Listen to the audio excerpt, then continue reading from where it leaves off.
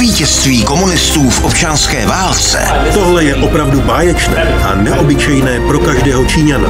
Ještě nikdy to neviděli. Měla velkolepá přehlídka Tady se to všechno 1. října 1949 odehrálo. představit světu novou velmoc.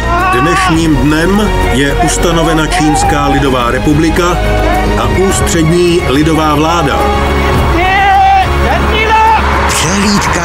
Probouzejícího se obra v úterý ve 20 hodin na CS History.